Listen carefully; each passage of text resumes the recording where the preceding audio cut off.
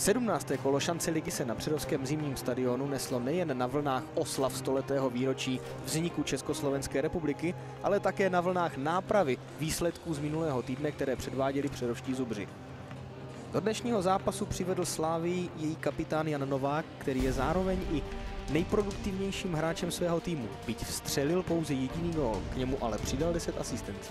Do předovského brankoviště nastoupil opět Milan Klouček, který bude během zranění Lukáše Klimeše určitě plnit důležitou roli mezi třemi tyčemi předovské brány. Zápas načali lépe domácí a v desáté minutě šli do vedení. Po střele Radomíra Pali od modré čáry tečoval Šimon Kratochvíl a otevřel skóre.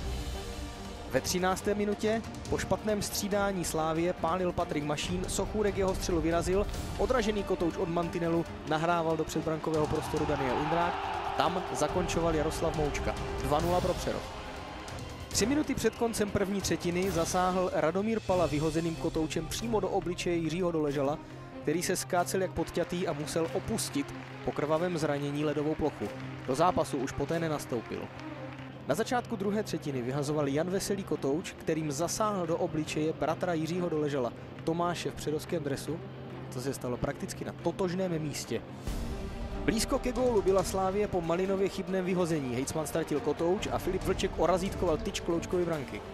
Třetí třetina začala obrovskou šancí předovských zubrů. Hejcman přihrával před bránu na volného Jakuba Navrátila, toho ale vychytal Lukáš Sokurek.